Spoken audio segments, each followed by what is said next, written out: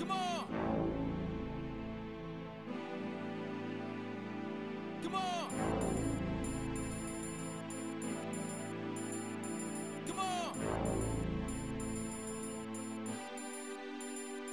Come on. Bring back Islam, bring back the state. When I said no more wait, I meant no more wait. No more watching brothers die, no more watching sisters cry. Oh Muslim Ummah, rise, rise up from this lies, rise up from nationalism pride. Allah's on our side, we will never compromise. Muslim for life, Muslim unite. Billion and a half Muslims, they can't make us or break us. Don't judge us aside by our faces and places. Colorblind, no spaces for races. Travelers in this life, your lives can never fool us. Islam is the only solution to the problems that face us. We won't compromise Islam. These kafirs can never take us. When they drop bombs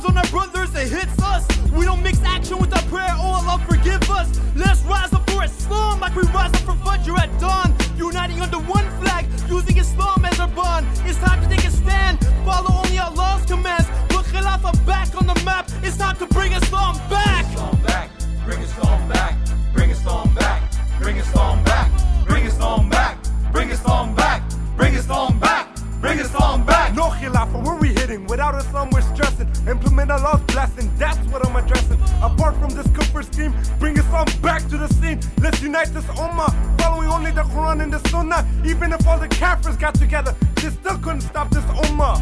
We love Islam more than we love life. Got Muslim brothers on my side, keeping each other in line with one vision, the deen of haqq. With one mission to bring Islam back, one ummah, one agenda. Allahu Akbar. Inshallah, I'll see you in Jannah. Takbir! Allahu Akbar! The Ummah was once one body undefeated to colonialism. Creeped in and separated us according to land, according to geography, according to nationality. Now we suffer tyranny. This life has been destroyed with more than 50 states. Put in place puppet rulers with stupid grins in the face. Race skin issue criteria for bondage. Shallow thinking, superficial is how we call it. This reality states that mankind needs revival, but based upon